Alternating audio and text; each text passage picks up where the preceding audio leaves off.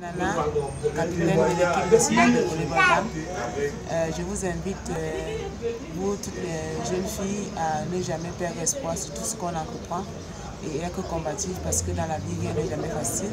De toujours croire jusqu'au bout, même s'il euh, y a les hauts et les bas. L'essentiel, c'est d'atteindre son objectif et d'être déterminé. Merci.